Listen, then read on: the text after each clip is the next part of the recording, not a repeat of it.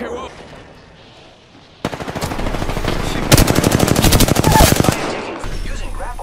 Taking him out with a decoy.